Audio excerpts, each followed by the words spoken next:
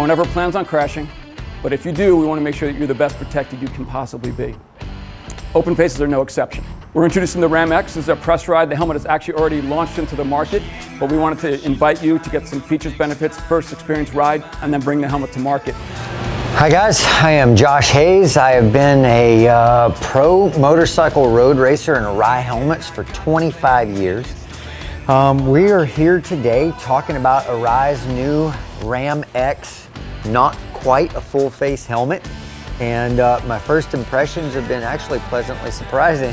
Having never worn anything except a full face, uh, I don't want to say apprehensive, but I was, I was definitely interested and excited to get out and see how it felt on the road. Once I actually had the shield down and I got to riding, I did not feel in any way like I was underprotected. I think that uh, it's pretty pretty awesome if you're going to be street riding in different conditions as the sun goes up and goes down and uh, having the option of how to deal with low light, good light, rain, any of those things I thought was a fantastic addition. I, I, I can definitely see myself wearing this around town and, and on some of my rides. Um, I think it's a nice addition to my family of Arai helmets that you know I have in my garage. I only wear Arai and uh, I'm happy to have this one as uh, part of the family.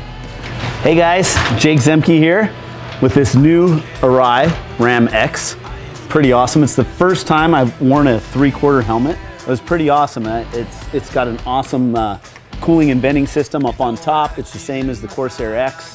The helmet is, uh, it's amazing, you know, fits like a glove and I was really stoked with it. Now what I'm really impressed with with this is the technology. These guys at Arai, they only think about protection. Now we've got the technology of a full face Corsair X in an open face helmet.